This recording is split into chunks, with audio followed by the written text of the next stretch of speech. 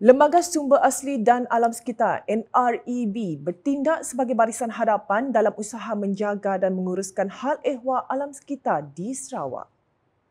Premier Sarawak Datuk Patinggi Tan Sri Dr. Abang Abdul Rahman Zuhari Tun Datuk Abang Openg berkata, sejak penubuhannya pada 1 Februari 1994, lembaga itu telah menunjukkan prestasi memberangsangkan dalam mencerminkan komitmen Sarawak terhadap penjagaan alam sekitar dan pemanggunan mampan di wilayah ini. Ini jelas dibuktikan dengan pelbagai pencapaian cemerlang bukan sahaja di peringkat negeri, bahkan mendapat pengiktirafan antarabangsa.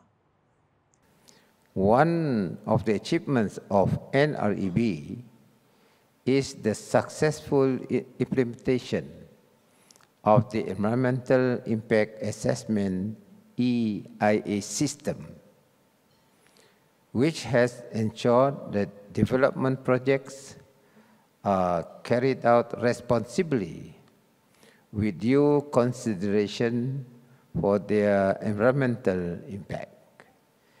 This has not only protect our natural ecosystem, but has also fostered a culture of sustainability within our business and industrial sectors.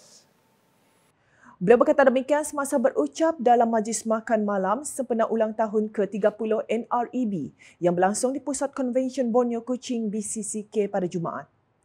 Tambah Datuk Patinggi Abang Zuhari lagi, kejayaan NREB dalam memastikan alam sekitar di Sarawak sentiasa terjaga jelas dipamerkan apabila wilayah ini mampu mengekalkan kualiti alam sekitar yang baik dan tiada kejadian bencana alam yang besar walaupun menghadapi pelbagai cabaran dan pembangunan pesat we are committed to strike a balance between the need for development and safeguarding our abundant natural resources, environment and well-being of the people. It is imperative that our economic growth does not come at the expense of our environment so as to ensure environmental sustainability.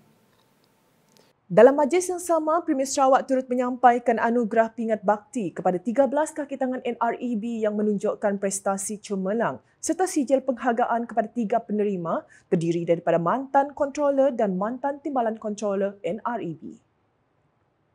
Dalam pada itu, NREB turut melakar sejarah apabila mereka mendapat pengiktirafan daripada Malaysian Book of Records MBOR atas kejayaan memperoleh rangkaian kelab persekitaran sekolah terbesar di Malaysia. Hadir sama Timbalan-Timbalan Premier Sarawak Datuk Amar Awang Tengah Aliasan dan Datuk Amar Profesor Dr. Sim Kui Hian, Setiausaha Kerajaan Sarawak Datuk Amar Muhammad Abu Bakar Mazuki, Peguam Besar Sarawak Datuk Safri Ali, Setiausaha Kewangan Negeri Sarawak Datuk Sri Dr. Wan Lizosman Wan Omar, Timbalan Menteri Tenaga dan Kelestarian Alam Sekitar Sarawak Datuk Dr. Hazlan Abang Hipni, Timbalan Menteri Pengangkutan Sarawak Udara dan Jalan Datuk Dr. Jerib Susil dan Controller Kualiti Alam Sekitar Sarawak Jack Liam.